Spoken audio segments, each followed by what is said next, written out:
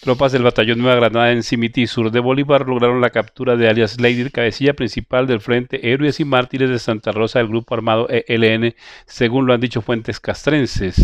El día sábado se logró la captura de alias Lady, cabecilla principal del Frente Héroes y Mártires de Santa Rosa en el municipio de Cimití, en el sur de Bolívar. Esta es una operación que se adelanta con inteligencia de nuestro Ejército Nacional y con capacidades operacionales de nuestra quinta brigada. Con esta operación capturamos a esta cabecilla, quien tenía una experiencia de aproximadamente 15 años de actividades delictivas y que se había desempeñado como cabecilla del Frente José Antonio Galán y posteriormente como cabecilla de este Frente Héroes y Mártires de Santa Rosa,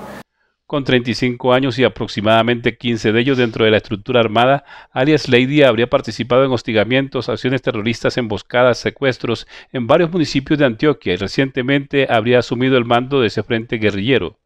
Que delinque en los municipios de Santa Rosa, San Pablo, Cimití, Cantagallo y el municipio de Yondó, en esa región del Magdalena Medio y sur de Bolívar. Esta es una cabecilla que como ustedes lo pueden notar acá,